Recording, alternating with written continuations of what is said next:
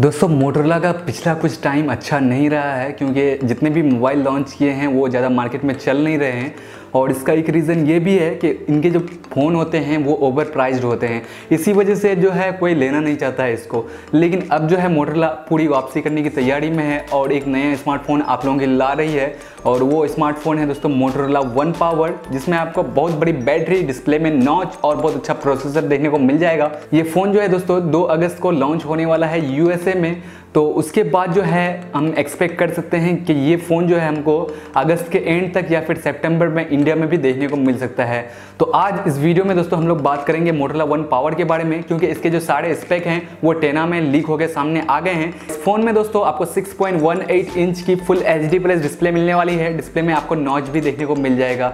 इस फ़ोन में दोस्तों आपको स्नैपड्रैगन का 636 का ऑक्टा कोर प्रोसेसर मिलेगा एड्रीनो 509 जीपीयू के साथ। ये फ़ोन तीन वेरिएंट में आ सकता है three GB RAM thirty two GB storage के साथ four GB RAM sixty four GB storage के साथ और six GB RAM sixty four GB storage के साथ। इसमें जो कैमरा होने वाला है दोस्तों सिक्सटीन प्लस फाइव मेगा का डुअल रियर कैमरा आपको मिलेगा पीछे की तरफ़ और फ्रंट में दोस्तों आपको एट मेगा का फ्रंट कैमरा देखने को मिल जाएगा।